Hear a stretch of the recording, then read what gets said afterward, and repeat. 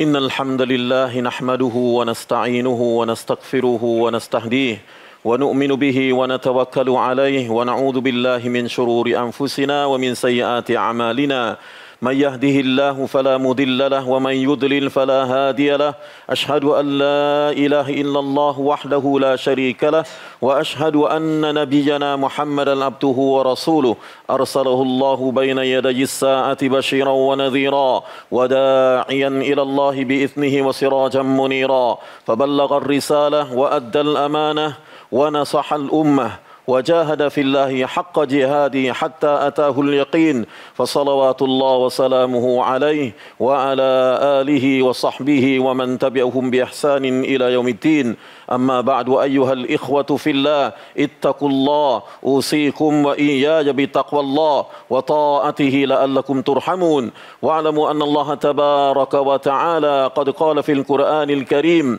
أعوذ بالله من الشيطان الرجيم.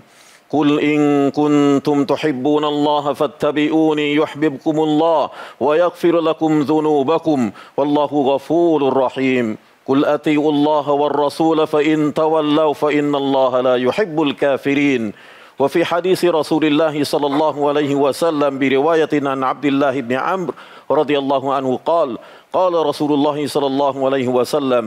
لا يؤمن أحدكم حتى يكون هواه تبعا لما جئت به صدق الله تبارك وتعالى وصدق رسوله الأمين ท่านพี่น้องผู้มีศรัทธาที่รักในอัลลอฮฺสุบฮานตะลาทุกท่าน ก่อนอื่นใครขอย้ำเตือนตัวกับผมเองตลอดจนท่านพี่น้องทั้งหลาย ให้มาสู่การตักวาหรือยำเกรงต่ออัลลอฮฺสุบฮานุตะลาให้มาก ๆ การตักวานั้นจะเป็นเกราะที่จะคอยปกป้องเราท่านทั้งหลาย อีกทั้งเป็นสเสบียงที่จะนำพาเราท่านทั้งหลายไปสู่โลกอาคิรอได้อย่างมั่นคงและยั่งยืน ท่านพี่น้องผู้มีศรัทธาที่รักในลอสุบัตลาทุกท่านครับ เรื่องของการต่ออัดเรื่องของการแสดงของการอีมานศรัทธา หรือความรักที่มีต่ออัลอิสลาม ความรักที่มีต่ออัลลอฮ์ความรักที่มีต่อทารสุลลอฮ์สุลลัลลอฮุอะลัยฮิวะสัลลัมสิ่งต่างๆ เหล่านี้เรายุ อยู่เต็มอกว่ามันเป็นเรื่องของนามธรรม เป็นสิ่งที่จับต้องไม่ได้ แต่สำหรับผู้ศรัทธานั้นแม้ชื่อของมันจะเป็นนามธรรมก็ตาม แต่เราสามารถทำให้มันออกมาเป็นรูปธรรมได้ด้วยกับการปฏิบัติ เพราะฉะนั้นการแสดงออกถึงความเชื่อฟังพักดีต่ออัลอรักอัลลอฮ์ปฏิบัติตามจึงเป็นกระบวนการอันหนึ่งที่จะยืนยัน สิ่งที่เป็นการอีมานศรัทธา ยืนยันสิ่งที่เป็นนามธรรมนั้นให้ออกมาเป็นรูปธรรมให้ได้ ซึ่งการที่จะทำให้ออกมาเป็นรูปธรรมนั้น จะต้องมีพื้นฐานมาจากแนวทางการปฏิบัติ เพราะฉะนั้นเมื่อผู้ที่เรานั้นจะแสดงออกถึงความรักการเชื่อฟังพักดี จึงจะต้องดูว่าผู้ที่สั่งใช้นั้น มีความปรารถนาอย่างไร ใช้ให้อยู่ในวิถีทางแบบไหนทำอย่างไร จึงมีรูปแบบปฏิบัติ ไม่ใช่เรานึกจะรักใครสักคนหนึ่งเราจะทำตามอำเภอใจเป็นไปไม่ได้ นี่คือหลักการที่อิสลามได้บอกเอาไว้ ซึ่งปรากฏอยู่ในอัลกุรอาน ในตอนต้นคุตบะที่หยิบยกมาให้กับท่านมีน้องได้ทราบ อัลลอฮฺสุมาตลาบอกกับท่านนบีมัสลลัลลอฮุอะลัยฮิสซาลมบอกว่ากุลอิงกุนตุมตุฮิบูนัลลอฮ์มุฮัมมัดจงประกาศออกไปบอกว่า อิงกุนตุมตุฮิบูนัลลอฮ์หากพวกท่านทั้งหลายนั้น รักในอัลลอฮ์สุบฮานวะตาลาฟัตตบิอูนีพวกทั้งหลายจงทำตามฉันหมายถึงให้ตามตามท่านรอสูลุลลอฮ์สุลลัลลอฮุอะลัยฮิวะสัลลัมและคำตอบที่ได้ล่ะยุฮบิบกุมุลลอฮฺวะยักฟิรุลกุมซูนูบะกุมอัลลอฮ์ก็จะทรงตอบรับความรักกับพวกท่านทั้งหลาย และจะทรงอภัยในสิ่งที่เป็นความผิดบาปให้กับพวกท่านทั้งหลายวัลลอฮุกอฟูลุรอฮีมอัลลอฮ์ทรงเมตตาทรงอภัย แล้วเรายังบอกแต่ท่านนบีบอกว่า กุลมุฮัมมัดจงประกาศต่อไปอีกว่า กุลอาตีอุลลอฮวะรอซูลพวกทั้งหลายจงเชื่อฟังพักดีในอัลลอฮ์และรอซูลฟาอินตะวันเราถ้าหากพวกทั้งหลายนั้นผิดหลัง ไม่เชื่อฟังไม่พักดีฟาอินนัลลอฮฺลาอยู่ให้บุลกาฟิรินอัลลอฮ์จะไม่ทรงรัก บุคคลที่ฝ่าฝืนดื้อดึง นี่คือสิ่งที่ยืนยันชัดเจนว่ากระบวนการของการแสดงออกถึงการอีมานศรัทธา ความรักในอัลลอฮ์ความรักในอิสลาม รักในหลักการสิ่งที่ตามมาก็คือการปฏิบัติตามแนวทางของท่านรสุลลอฮ์สุลลัลลอฮุอะลัยฮิวะสัลลัมท่านพี่น้องครับนี่คือสิ่งที่เป็นข้อยืนยันอย่างหนึ่งสำหรับผู้ศรัทธานั้นจะต้องศึกษาและก็เรียนรู้เข้าใจจุดมุ่งหมายของคำสั่ง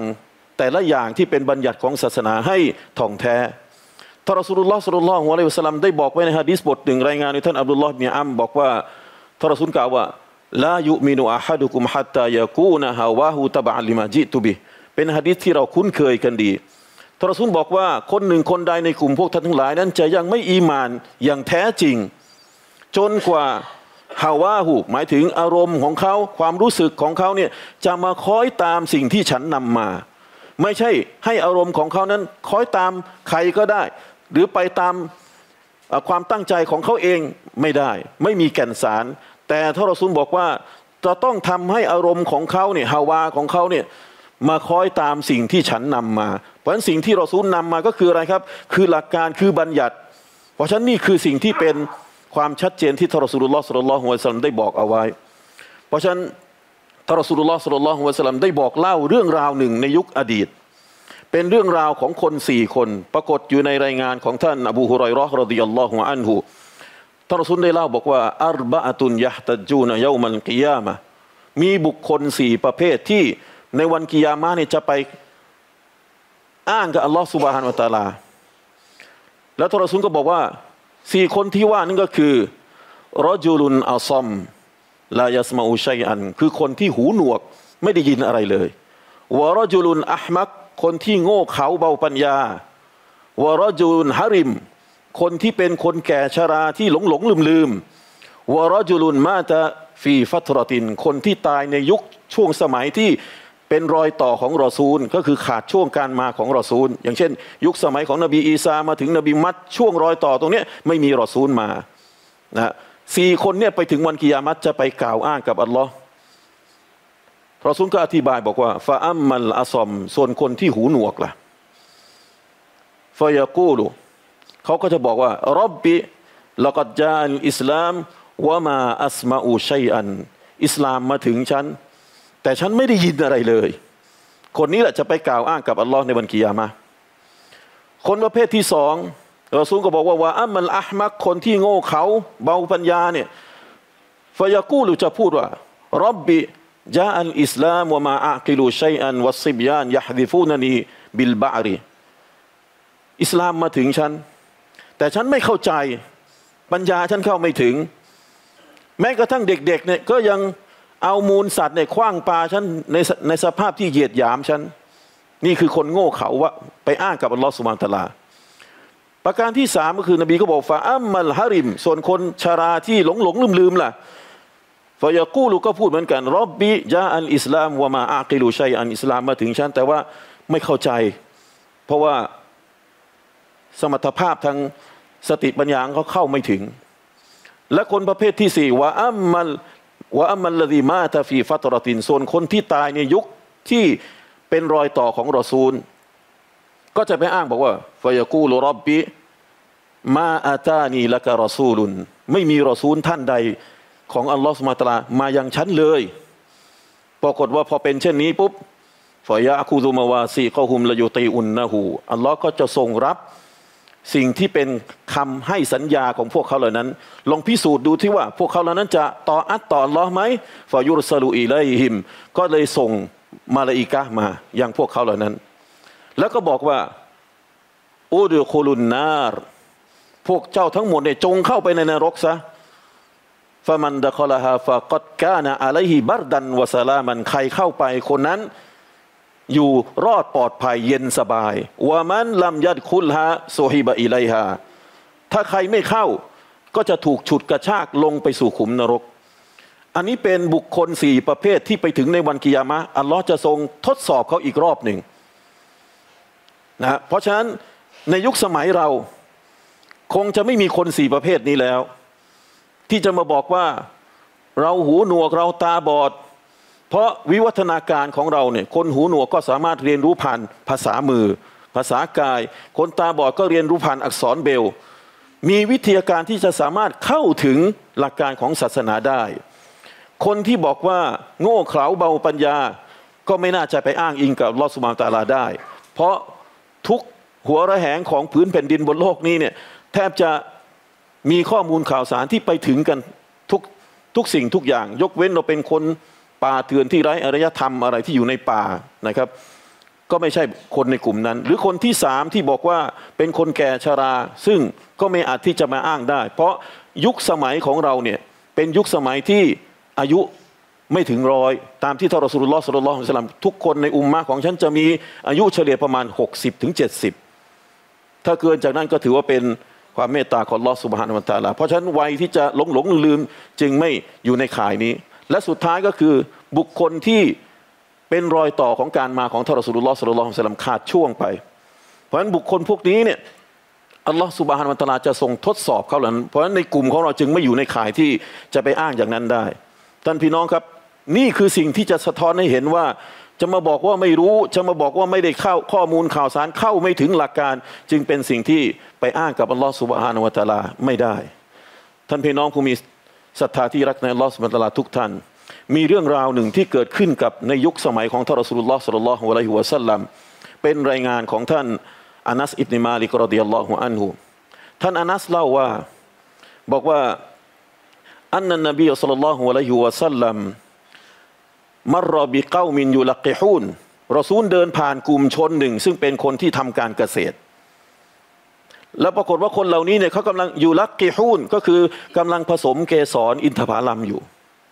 ผสมเกสรอินทผลัมรอซูลก็เข้าไปดูใกล้แล้วก็บอกว่าเล่าลัมตัฟอาดูละซอละฮะเจ้าไม่ต้องไปผสมมันหรอกไม่ต้องไปผสมเกสรมาหรอก เดี๋ยวมันก็ออกเป็นผลออกมาเหมือนกัน นะ เสร็จแล้วรอซูลก็เดินจากไป ต่อมาท่านอนัสก็รายงานบอกว่าฟาคารจะชีซอน อินทผลัมต้นที่ว่าที่รอซูลไปแนะนำเนี่ยนะครับ ปรากฏว่ามันออกผลมาในสภาพที่แคะแกนรีบ ไม่สวยนะครับ แล้วก็ไปถึงท่านรอซูลุลลอฮ์สุลลัลสลัมในเรื่องราวนี้รอซูลก็เลยออกมาฟามารอบีฮิมฟะกอละวะมานะคอละกุมรอซูลก็ถามเป็นไงบ้างอินทผลัมของพวกท่านทั้งหลายเนี่ย คนที่ทำการเกษตรก็บอกก็รูกุลตะกะดาวกะดาที่ทรซูลบอกไว้แบบนั้นแบบนั้นเนี่ยนี่ไงผลงานมันออกมาแบบนี้ ปรากฏว่า อินทผลัมมันฟอมันเป็นผลที่ไม่สวยไม่ดีรอซูลก็เลยบอกว่าก็ละคุณตุมอาลามุบีอัมริดุนยากลุ่มพวกท่านทั้งหลายเนี่ยเป็นผู้ที่มีความรู้ดีกว่าในเรื่องของดุนยา แล้วทรซูลก็บอกอีกบอกว่า อิง กานาชัยอันมินอัมริดุนยาคุมฟาชาอนุกุมบิ ถ้าสิ่งหนึ่งสิ่งใดเป็นเรื่องท่านดุนยา พวกท่านก็ทำไปว่าอิงกานามินอัมริดีนิกุมฟาอีไลยะแต่ถ้าเรื่องราวนั้นเป็นเรื่องของศาสนากลับมาอย่างฉันนี่ นั่นเป็นสิ่งที่ทรสุลลอฮ์สุลลัลสอนให้รู้ว่าชีวิตของเราที่อยู่กับดุนยา เราศึกษาเรียนรู้อะไรต่าง ๆ ที่เป็นข้อมูลของมัน นั่นคือเราเก็บไป แต่ตราบใดถ้าเป็นเรื่องราวของอัลอิสลาม จะไปคิดคนเองไม่ได้ ต้องกลับมาที่ตัวท่านรอสุลลอฮ์สุลลัลฮุอะลัยฮิวสัลลัมนี่คือสิ่งที่เป็นบทเรียนที่สำคัญอย่างยิ่งที่เราทั้งหลายนั้นจะต้องตระหนักเป็นอย่างมาก ว่าในทุกวิถีชีวิตของเราที่ดำเนินไปเนี่ยเราแยกออกไหมอันนี้คือเรื่องของดุนยา อันนี้คือเรื่องของศาสนา ไม่ใช่เอาทั้งสองมายำรวมกัน แล้วก็ผสมโรงกันไป มีเรื่องราวหนึ่งที่เกิดขึ้นในยุคของ ตาบีอินคือท่านซาอิดอิบนิมุซัยบรอรอฮิมาฮุลลอเป็นคนในยุคตาบีอินเป็นอุลามะท่านหนึ่ง เป็นลูกศิษย์ของสหบะบันทึกอยู่ในรายงานของอิหม่ามไบฮะกี เป็นสายรายงานที่สฮะท่านเล่านะครับบอกว่าอันนหูรออารอจุลัน มีชายคนหนึ่งที่เขาเห็น ปรากฏว่าคนคนนี้เนี่ยเขาบอกว่ายูซอลลีบาดะตูลูอิลฟัจรีอักซัรมินรอกอัตัยนี่ เขามักจะละหมาดหลังฟายัดขึ้นเนี่ยมากกว่าสองรอกอัตยุคซิรูฟิฮัสรุกุววสุยูดแถมยังรุกุเยอะๆสุยูดเยอะๆทำอะไรของเขาก็ไม่รู้แบบนี้ ปรากฏว่าไซยิดิมุไซยิบก็เข้าไปฟานาห้าหูแล้วก็ไปห้ามเขาบอกว่าทำอย่างนี้ไม่ถูกไปห้ามเขาฟาก็ละชายคนนั้นก็บอกว่ายูอัซิบุนิลลาอัลสลาต ยาอับามุฮัมมัดอบูซาอิดอาซาอิดอิมุซายิบก็คือชื่อที่สองของเขาชื่อว่าอบูมุฮัมมัดเขาเลยบอกอบูมุฮัมมัดอัลลอฮ์จะลงโทษฉันฐานที่ฉันละหมาดเหรอที่ฉันละหมาดเนี่ยเราจะลงโทษเหรอเพราะละหมาดหลังฟายัดก็ละหมาดสองรกัดละหมาดอีกละหมาดแล้วละหมาดเล่าอัลลอฮ์จะลงโทษฉันหรือบนฐานของการละหมาดเนี่ยไซรีบนุไซยิบตอบว่ากอละละ ลาอยู่อัดีบุกะอัลสลาอัลลอฮ์จะไม่ลงโทษท่าน ฐานที่ท่านละหมาดหรอก ประโยคที่สำคัญคือประโยคนี้วะลากินอยู่อัดีบุกะอัลาคิลาฟิซุนนะแต่อัลลอฮ์จะลงโทษท่านฐานที่ท่านทำฝืนสุนนะนี่คือสิ่งที่สำคัญ เพราะหลักฐานอันนี้จึงเป็นหลักฐานที่ยืนยันอย่างชัดเจน และคำอธิบายของเชคอัลบานีในฮะดีษบทนี้เนี่ยนะครับ ท่านบอกว่า ฮาดามินบาดายะอัจวิบัติไซัยิดอิบนิมุไซยิบอันนี้เป็นคำตอบของท่านซาอิดอิบนุมุไซยิบที่ยอดเยี่ยมเหลือเกิน ยอดเยี่ยมยังไง ท่านบอกว่าวะฮูวาซีลาหุนกอวิยุนอาลันมุบตาดียเป็นเหมือนกับอาวุธที่ทรงพลังที่โต้ตอบกับพวกกลุ่มบิดาทั้งหลายอัลลดีนยัสตัฮซีนูนะกะซีรอนบีอิสมีอันนะฮะซิกรุนวะซาลาตุน ซึ่งคนเหล่านี้มักจะ กล่าวอ้าง ในสิ่งที่เขาทำว่ามันดีมันสวยมันหรูมันดีงาม โดยแอบอ้างว่ามันก็คือการดีเกตมันก็คือการละหมาด ท่านสายิดอิมุสายิบโต้ตอบคนเหล่านี้ไปบอกว่า ไม่ใช่หรอกอัลลอฮ์ไม่ได้ลงโทษท่าน ฐานที่ท่านซิเกรฐานที่ท่านซอลาวาตฐานที่ท่านทำเมาลิดฐานที่ท่านทำนั่นทำนี่ที่เป็นเรื่องราวที่ไม่ใช่เรื่องราวของศาสนา แล้วอุตริเอามาเป็นศาสนา แต่ที่อัลลอฮ์จะลงโทษท่านก็คือيعذبك الله على خلاف السنةฐานที่ท่านนั้นทำสวนทางกับสุนนะนั่นเอง ท่านพี่น้องผู้มีศรัทธาที่รักในอัลลอฮ์สุบฮานุตาลาทุกท่าน นี่คือเรื่องราวที่มีความสำคัญ ที่เราท่านทั้งหลายนั้นจะต้องพยายามประคับประคอง แล้วก็ดูสิ่งที่เป็นเรื่องราวของคนในยุคอดีตเขามีความหวงแหนในหลักการของศาสนาอย่างไรบ้าง อะไรที่ไม่ใช่ เขาก็จะปฏิเสธหรือห้ามปามทันทีอย่างท่านซาอิดอินมุซายิบ เห็นสิ่งที่ไม่ถูกต้องก็ห้ามทันทีเลยนะนี่คือสะท้อนถึงการอีมานของเขาที่มีความเข้มแข็ง แม้จะมีฮะดีษบทหนึ่งที่พูดเกี่ยวกับเราให้เราได้ทราบว่า เวลาเราเห็นสิ่งไม่ดีไม่งาม ก็จงจัดการมันด้วยมือ ถ้าไม่มีความสามารถพูดบอกไปสอนไป ถ้าไม่มีความสามารถสุดท้ายแล้วเนี่ยก็ดูอา นี่คือสิ่งที่เราก็สามารถทำได้ แต่ถ้าเราจะไปเทียบกับคนในยุคสฮาบะคนในยุคตาบินที่เขามีความหวงแหนซุนนะเนี่ยเราเทียบไม่ได้ เขาเห็นไม่ถูกต้องปุ๊บเขาจัดการเลย ห้ามเลย นี่คือสิ่งที่เป็นความสวยงามของอิสลาม ที่คนในยุคอดีตเขารักษามันไว้ท่านพี่น้องครับมีคำพูดอันหนึ่งของคนในยุคตาบีนก็คือท่านมุฮัมมัดอิบนิฟัดลลอฮิมะฮุลลอฮ์ท่านบอกอย่างนี้นะครับบอกว่าซิฮาบุลอิ ท่านบอกว่าอิสลามนั้นค่อยๆหมดไปด้วยน้ำมือของคนสี่ประเภทด้วยกัน แล้วท่านก็บอกว่า สิ้นฟุนลายะมาลูนบิมายะละมูนคนประเภทที่หนึ่งก็คนที่ไม่ทำตามสิ่งที่ตัวเองนั้นได้เรียนรู้มา ตัวเองนั้นเรียนรู้มาสั่งสมสิ่งที่เป็นประสบการณ์ในการเรียนรู้ผ่านตัวบทต่าง ๆ มามากมาย แต่ท้ายที่สุดแล้ว ไม่เอามาทำตามสิ่งที่ตัวเองนั้นได้ เรียนรู้บนแนวทางที่ถูกต้อง คนประเภทนี้มุฮัมมัดอิบนิฟัดดินบอกว่านี่แหละเป็นปัจจัยหลักสำคัญที่จะทำให้อิสลามนั้นสูญสูญสิ้นไป สูญสลายไป หรือมันบกพร่องไป เพราะคนประเภทนี้ แล้วท่านก็บอกคนประเภทที่สองสิ้นฟุน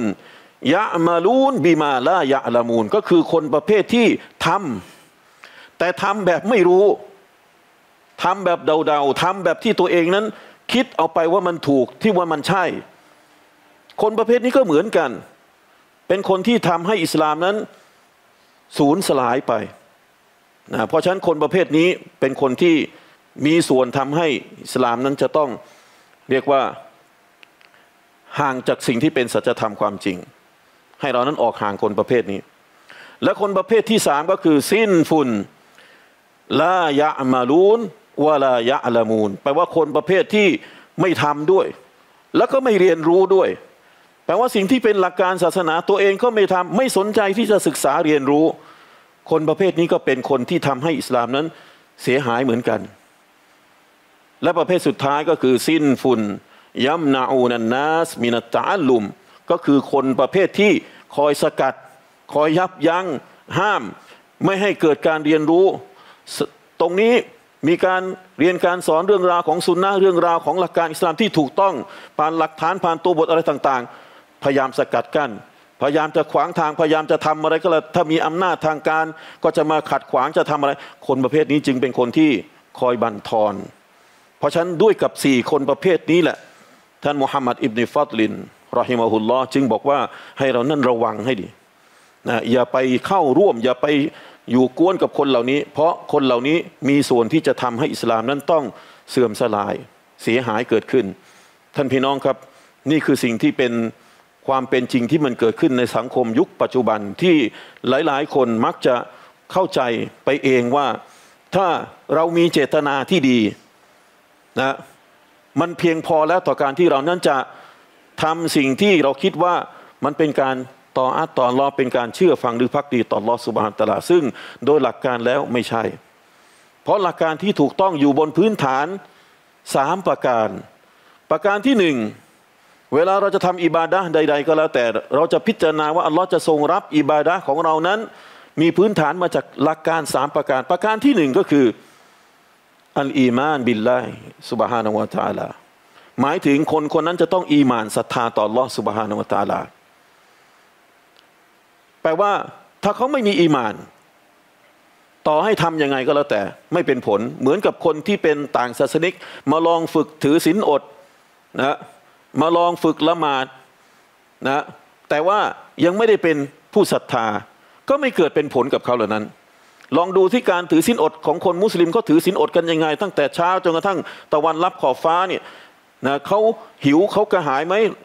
อยากจะมาลองถือศีลอด ลองได้ แต่การถือศีลอดของคนเหล่านี้ไม่เกิดประโยชน์อะไร เพราะต้องเข้าสู่การอีมานก่อน ประการที่สองก็คือการอิตติบะลิสุนนติรอสูลิลละการทำตามรูปแบบที่มีมาจากแนวทางของท่านรอสูลุลลอฮ์สัลลัลลอฮุอะลัยฮิวะสัลลัมนั่นหมายถึงจะคิดค้นเอาเองไม่ได้ จะนึกจะมโนขึ้นมา จะทำตามอำเภอใจ แล้วมองว่านี่แหละคือสิ่งที่มันดีแล้ว ก็จะเหมือนกับที่ท่านซาอิดอิบนุมุสัยยิบโต้ตอบไปด้วยกับประโยคนั้นแหละบอกว่าولكن يعذبك الله على خلاف السنةอัลลอฮ์จะลงโทษท่านฐานทำขัดกับสุนนะนั่นเอง เพราะฉะนั้นการปฏิบัติตามสุนนะจึงเป็นกระบวนการอันหนึ่งที่แสดงว่าเรานั้นอีมานต่อลอสุบฮานวตาลา และประการสุดท้ายที่กล่าวมาทั้งหมดมันอยู่รวมกันทั้งหมดทั้งสามประการ นั่นก็คืออัลอิคลาสฟินนีย มีเจตนาที่ไปสู่เป้าหมายอันบริสุทธิ์เพื่อลอสุบฮานุอัตาลา เพราะฉะนั้นเวลาเราประกอบอิบาดะใด ๆ ก็แล้วแต่ สิ่งที่จะเป็นที่ตอบรับนะอัลลอฮฺสุบฮานวะตาลา เรามีอีมานต่อพระองค์ เราทำตามแบบที่มีมาจากทรอสุลลอฮ์สุลลัลลอฮุอะลัยฮิวะสัลลัมผ่านคำพูดของท่าน ผ่านการกระทำของท่าน ผ่านการยอมรับของท่าน เราทำแบบนั้นไหม เราศึกษาไหม สิ่งที่เราทำอยู่ทุกวันนี้ มันมีมาจากคำพูดของรอซูลการกระทำของรอซูลการยอมรับของท่านรอซูลไหมนะสฮาบะทำแล้วรอซูลเห็น แล้วปรากฏว่ารอซูลให้การยอมรับไหมถ้ามันเป็นแบบนั้นก็ถือว่าเรารอดปลอดภัย อยู่ในกลุ่มชนที่เป็นฟิรกออันนาจิยะกลุ่มชนที่รอดปลอดภัย และประการสุดท้ายก็คือทำด้วยใจอันบริสุทธิ์ ไม่ใช่ทำด้วยสิ่งที่แอบแฝงไปด้วยผลประโยชน์ทางดุนยาแอบแฝงไปด้วยการให้ได้มาซึ่ง ชื่อเสียงยศตำแหน่งอะไรก็แล้วแต่ ถ้าสิ่งต่างๆ เหล่านี้มันเกิดขึ้นนะเป็นสิ่งที่สมบูรณ์แบบนะตามที่เป็น step ของมันก็คืออีมานทำตามสุนนะมีความอิคลาส แน่นอนเหลือเกินเราเชื่อมั่นว่า อัลลอฮฺสุบฮานุตาลาจะทรงตอบรับเรา แล้วก็จะนำทางเรานั้นไปสู่ความเรียกว่าความอิสบาตความมั่นคงในการอีมานของเราทำให้อีมานของเรานั้นมีความเข้มแข็ง بارك الله لي ولكم في القرآن الكريم ونفعني وإياكم بما فيه من الآيات والذكر الحكيم. أقول قولي هذا وأستغفر الله العظيم لي ولكم ولسائر المسلمين من كل ذنب فاستغفروا فيا فوز المستغفرين ويا نجاة التائبين.